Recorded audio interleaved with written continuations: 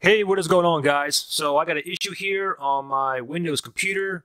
You can see down here, this little icon here, this is a malware. This is called Chromium. I'm going to show you the easiest and fastest way to get rid of it right now, okay? So first thing I want you to do is go ahead and open up a File Explorer. Go to File Explorer, open that up. And then when that opens up, what you want to do is you want to go to this PC. So double click on this PC. And then from here, you want to go into your C drive. And now you want to go under users.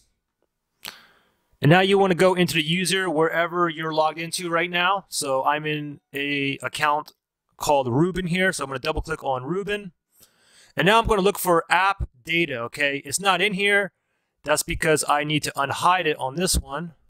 And this is a Windows 10 here. It's a little bit different if you're on Windows 7 or 8, but let's see here. So Windows 10, let me go to view here. Okay, so it says hidden items. So I'm going to go ahead and check this here. And now here is app data right here. So let me double click on app data. And now I want to double click on local.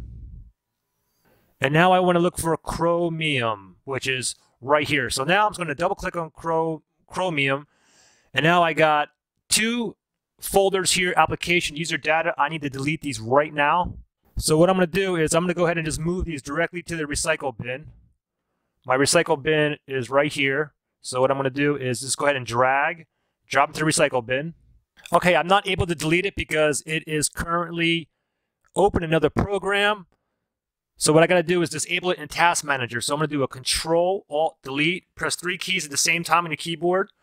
Go to your Task Manager. So I want to, now I want to look for Chromium, okay?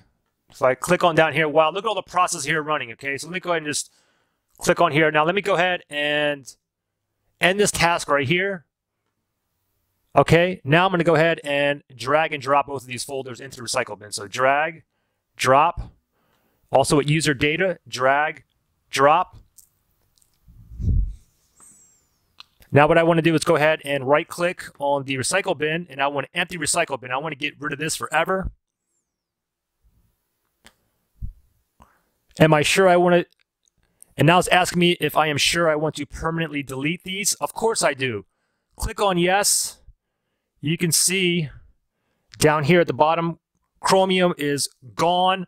So every time I boot up my computer, it's not going to automatically pop up, but Chromium also, this computer should now run 30, 20 to 30% faster. This guy's helped you out. Guys, give me a thumbs up, sub to my channel, watch some of my other videos. And if you guys still have issues, comment below because there's a lot of other different ways that you can go ahead and get rid of this as well. You can go into the registry, you can boot in the safe mode. Anyways, for most of you, this is perm permanently gone for you guys, all right?